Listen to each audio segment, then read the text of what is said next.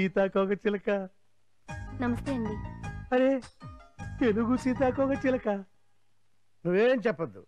పెళ్ళి ఎప్పుడు అవుతుంది అడగటానికి వచ్చావు. అంతేగా? ఇతను కాగానే నీకే. గురుగారు ఆ, ఆ అమ్మాయి నన్నే వెతుక్కుంటూ వచ్చినట్టుంది. మా ఇద్దరిని సెటప్ చేయకూడదు. ఆ, ఏంట్రా బ్రోకర్ లా కనపడుతున్నానా? మిర్చి బస్తాల కుక్కుతా మంటెక్కుద్ది. ఎక్కడ? అర్థమైంది. ఆ, ఆల్ క్లియర్ సార్ అర్థమైందమ్మా ఫ్యామిలీ ప్రాబ్లం అని. జాతకాలు కలవకపోతే జీవితాలు కూడా కలవు. రా నువ్వు వెళ్ళవే. ఇప్పుడు కూడా నేను రెడీ. విడాకులు పిలిచేసి మా ఇద్దరికి సెటప్ చేయించండి. ఇందాక నేనేమన్నాను రా మిర్చి బస్తాలు వేసి కుక్కుతాను మంట ఎక్కుద్ది ఎక్కడా అని అడిగారు. అప్పుడు నువ్వేమన్నా అర్థమైందండి అన్న ఎక్కడ అర్థమైంది? నువ్వు కూర్చోమ్మా.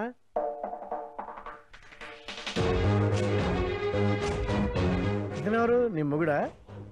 మన మొగుడు అనుకుంటా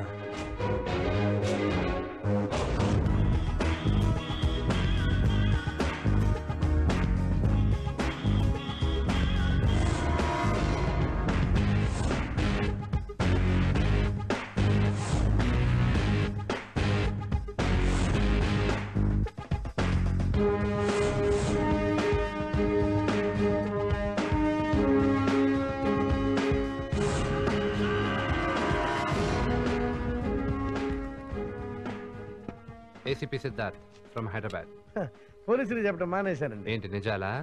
కాదు జాతకాలు నేను చెప్పిస్తాగా? ఇతన్ని ఎక్కడన్నా చూసావా? చూడలేదు. ఇతన్ని? అస్సలు చూడలేదు. అలా అయితే చూడకుండానే జాతకాలు చెప్తున్నావా? జాతకాలు రాయించిన వాళ్ళు అందరితోనూ మాకు లింక్ ఉంటుంది ఏంటండి? ఎందుకో నీ ఫేస్ చూస్తే నీ జాతకం చెప్పాలని ఉందయ్యా నువ్వు మహర్జాతకుడి. కాకపోతే నీ ఏడు జన్మలు వెనకడి చూస్తేనే నీచంగా ఉంది. మొదటి జన్మలో కుక్కలా పుట్టావు. తర్వాత ఎద్దులాగా నక్కలాగా చీమలాగా ఒంటిలాగా నెమలిలాగా చివరికి కాకిలాగా పుట్టావు. నువ్వు గతానికి వెళ్ళి నా ఏడు జన్మల గురించి చెప్పావు కదా? నువ్వు ఇప్పుడు కోఆపరేట్ చేయకపోతే జరగబోయే ఏడు రోజులు నీకెలా ఉంటుందో నేను చెప్తా. మొదటి రోజు నిన్ను అరెస్ట్ చేస్తాం. రెండో రోజు అత్తారింటికి తీసుకెళ్తాం. కాకినాడకా? కాదు కటకటాల్లోకి. అబ్బో మరి మూడో కదండి కొత్త బట్టలు ఇస్తాం. దేనికి? ఒంటి మీద బట్టలు రక్తంతో తడిచిపోతాయి కదా. అబ్బా అంతలా కుమ్మేస్తారా? నాలుగో రోజు ఏం చేస్తారండి? చికెన్ బిర్యానీ పెడతాం. అబ్బా. మూడు రోజుల క్రితంది అబ్బా. మరి ఐదో రోజు? ఐస్ గడ్డల మీద పడుకో పెడతాం. అది పోయిన వాళ్ళు కదా పడుకో పెట్టేది అప్- అంత దూరం వెళ్ళక్కర్లేదు సార్. కొత్త బట్టలు పెట్టిన రోజే గురువు గారు నిజాలు మొత్తం కక్కేస్తారు. ఆ ముక్క చెప్పాల్సింది మీ గురువు గారు తేడా జరిగిందో మొదటి రోజే కొత్త బట్టలు ఇస్తాం. ఆలోచించుకో.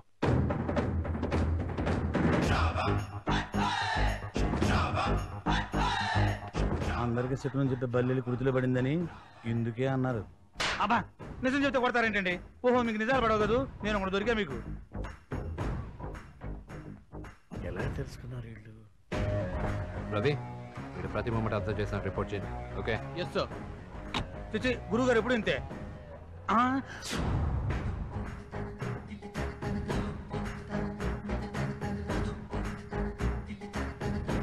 ఇది ఎలా జరిగింది?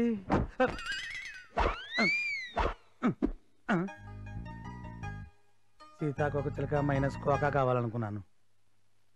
కోక దక్కింది. వాడిని అబ్జర్వ్ చేస్తున్నాను ఓకే సార్.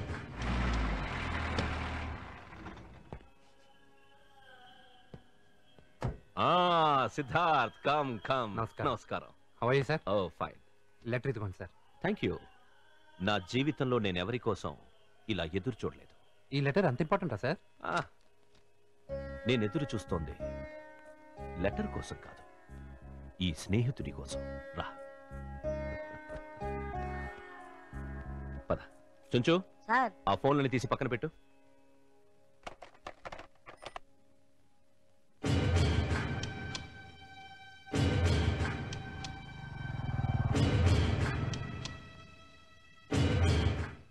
స్నేహితుడే వచ్చాడనుకున్నాను. కానీ ఆ స్నేహితుడు కొండంత ఆనందాన్ని తెచ్చాడు. ఏం సార్ అది? నువ్విచ్చిన నా ఓల్డ్ క్యాసెట్ ఇప్పుడు పది లక్షల కాపీలు వేయిస్తున్నానని శ్రీకాంత్ రాశాడు. ఇదంతా నీ వల్లే.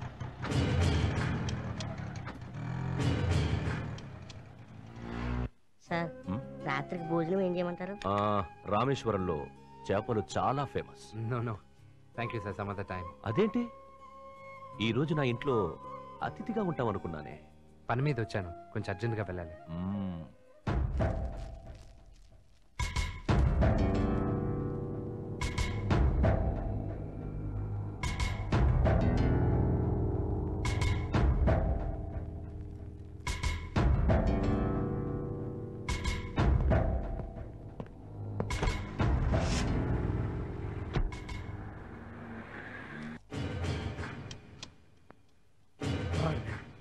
మెడగోసిన కోళ్ళగా ఇక్కడ ఆలాడుతుంటే ఎందుకు మోగుతాయి? హలో? తీశారు. గురుగారు ఫోన్ తీశారు. ఏ, ఎత్తింది నేను బే. ఫోన్ పెట్టాయి ఆ?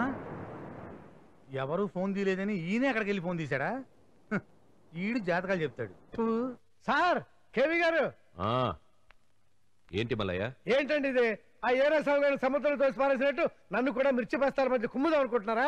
ఏయ్ ఏంటలా వెటకారంగా మాట్లాడుతున్నావు? వెటకారం కాదండి ఒళ్ళంతా కారం పూసుకున్నట్టు ఉంది. ఏమైంది? భోగి తర్వాత సంక్రాంతి వచ్చింది. ఆ ఏసీపీ గారిని నా మీదకి దోసి కింద మంట పెట్టించారు. మీరేమో ఆడితో పండగ చేసుకుని మర్యాద ఇచ్చి బయటికి పంపుతున్నారు. ఏంటండి ఇదంతా? ఏసీపీ ఎవరు? ఛీ! ఇప్పుడు వచ్చాడని సిద్ధార్థే ఏసీపీ. సిద్ధార్థ? ఏసీపీనా సిద్ధార్థే ఒకటోసారి ఏసీపీ రెండోసారి ఏసీపీ మూడోసారి ఏసీపీ నా అభిమానినని నా పాత రికార్డ్ చేతిలో పెట్టి నా లైఫ్లోకి ఎంటర్ అయ్యింది. నా అసలు రికార్డ్ తెలుసుకోవడానికేనా? తెలుసుకుని మీ చరిత్ర నా చరిత్ర పుస్తకాల కింద వచ్చేసి మార్కెట్లో అమ్ముకుంటారనుకుంటున్నారా? ఇద్దరిని తీసిన బొక్కలో పెడతాండి బాబు. మీరప్పుడు జైల్లో కూర్చుని సఫలమైన సంగీతం వాయించుకోవాల్సిందే. చూడండి అయ్యా ముద్రష్ట డబ్బు కోసం మీతో చేతులు కలిపా ఇద్దరం పంచుకున్నాం. ఇప్పుడు డేంజర్ ఫోర్ ఫార్టీ వోల్ట్స్ లాగా ఆ ఏసీపీ గారు మధ్యలో వచ్చాడు. నాకు ఈ వ్యాపారం వద్దు మీకు నాకు రామ్ రామ్. మల్లయ్య. ఈ కేకలు నా మీద కాదు వాడి మీద మిర్చి!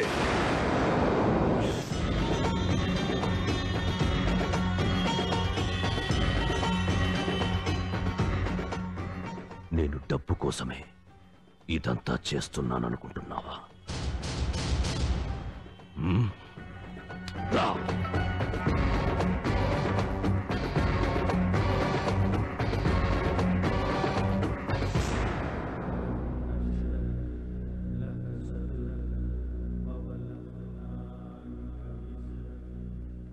ఇది సమాధి కాదు. చరిత్ర.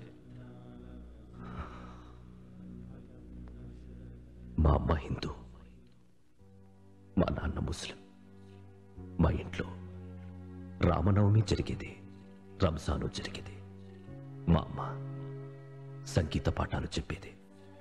మా నాన్న టపాకాయల వ్యాపారం చేసేవారు.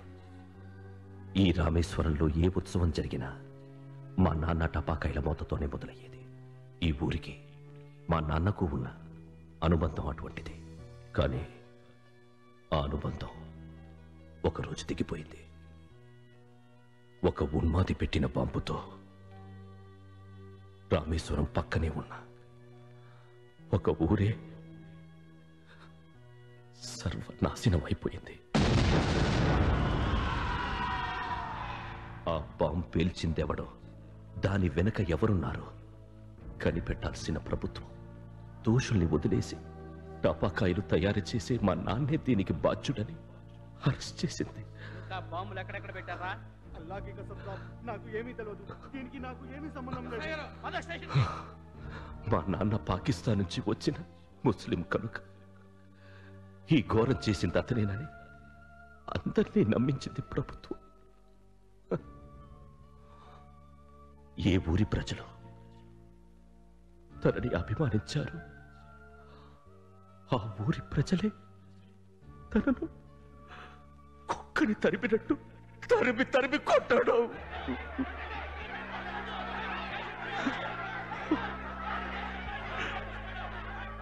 మా నాన్న తట్టుకోలేకపోయాడు.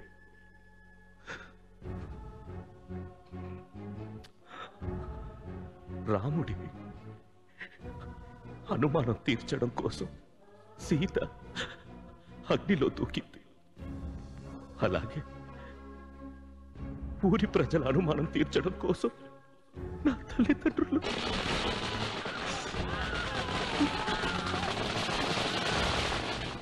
ఊరిదైపోయారు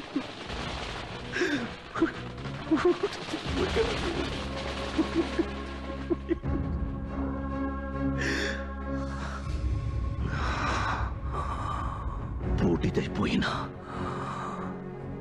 నా తల్లిదండ్రుల్లాగే ఈ దేశాన్ని నాశనం చెయ్యాలనుకున్నాను.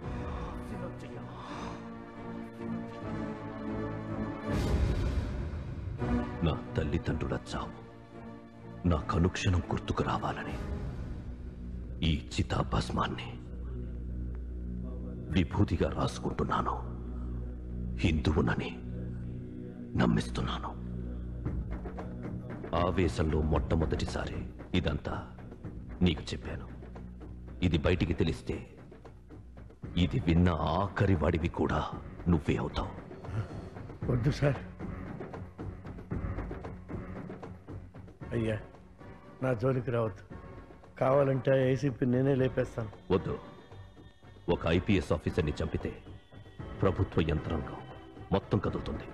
మన వైపు పడిన పోలీసుల దృష్టిని వేరే వైపు మళ్ళించాలి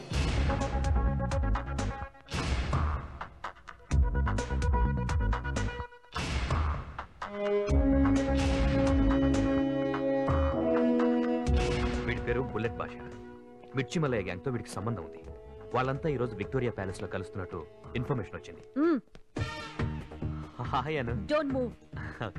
Gun నీ గన్ ఇక్కడుంది. ఓ, అను నేను ఏసీపీ వచ్చేదాకా. ఎవ్వరూ కదలద్దు ఏసీపీ గారు వచ్చే టైం అయింది. ఆయన మేము కలిసి అర్జెంట్గా బయటకు వెళ్ళాలి. Please give me the gun అంతకంటే అర్జెంట్గా నేను ఆయనతో కొన్ని విషయాలు మాట్లాడాలి. అను. ఫోర్ ఇయర్స్ నుంచి వెయిటింగ్ అమ్మా తల్లి మేము అసలు టెన్షన్లో ఉన్నాం. గన్ ఇచ్చేస్తే వెళ్ళిపో ఆగండి. ప్లీజ్ నేను ట్రైనింగ్ అయిందాను అను అసలు లోడెడ్ గన్ ఎవరిని ఎక్కడ కాలుస్తారో నాకే తెలియదు God Anu please sir sir చూడండి. ఏంటా పిచ్చి పని? ఏంటి? నేను ఫోన్ చేస్తే పక్క వాళ్ళకి ఇస్తా? ఇంటికి వస్తే బయటకు వెళ్ళిపోతా నన్ను ఎందుకు అవాయిడ్ చేస్తున్నా ఈ రోజు కన్ఫర్మ్గా ఒక విషయం తెలియాలి. నువ్వు నన్ను ప్రేమిస్తున్నావా లేదా? లేకపోతే సూసైడ్ చేసుకుంటాను. రియలీ ప్రామిస్ ప్రభు పేపర్ పైన అర్జెంట్గా తీసుకో సూసైడ్ నోట్ పైన సైన్ చేస్తుంది. సార్ ఆ అమ్మాయి కాల్చడం రాదంట. మనమే కాల్ చేద్దాం. ఈ ఐడియా ఏదో బాగుందే. నువ్వు ఆడదానివేనా? సాటి ఆడదానికి హెల్ప్ చేయవా? ఎదురు చూస్తూ నాలుగేళ్ళు దాటిపోయింది. ఐదేళ్ళకోసారి గవర్నమెంట్ మారిపోతుంది. నువ్వు మారవా? సారీ అను ఊరికే జోక్ చేశాను. సార్ పైకి చెప్పకపోయినా నువ్వంటే చాలా ఇష్టం. అవును నిజం. నువ్వంటే చాలా ఇష్టం. చాలా ఇష్టం. చాలా ఇష్టం. నేను ఇష్టమైతే ఎందుకు ఏడిపిస్తున్నాడు? ఎవరిని ఎక్కువ ఏడిపిస్తారు? ఎవరిని? ఇష్టం ఉన్న వాళ్ళనే కదా.